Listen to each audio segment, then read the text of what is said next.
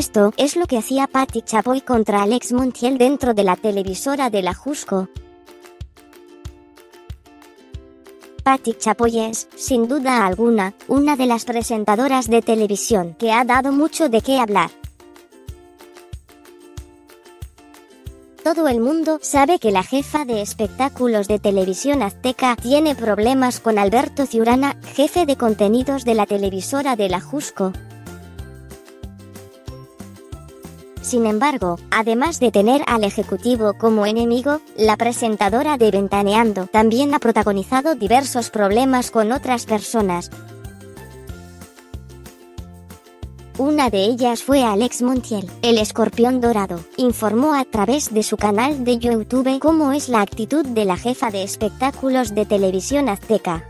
Pasa Patti Chapoy y todo mundo se abre porque la señora impone respeto muy cabrón. Alex Montiel también aseguró que al ver a la señora en persona, lo primero que se nota es su belleza, además de que siempre se da a respetar a pesar de que vive de las controversias que surgen en el mundo del espectáculo.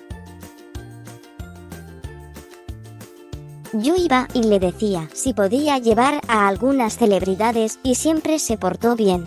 Llegaba con todo respeto a proponerle cosas y me decía dos puntos sí.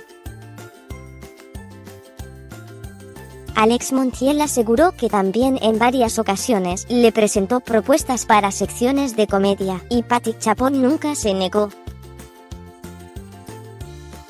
El escorpión dorado comentó que se iba a casar, por lo que decidió invitar de manera personal a Patti Chapoy, a lo que la presentadora estelar de Ventaneando le explicó que no podría ir porque saldría de viaje con su familia. El youtuber Alejandro Zúñiga explicó que Patti Chapoy es una persona educada, algo que no todas las personas dentro del medio tienen. Lo cierto es que varias celebridades han señalado a Patti Chapoy por su actitud arrogante, y es por eso que se especula ha tenido varios roces con sus compañeros.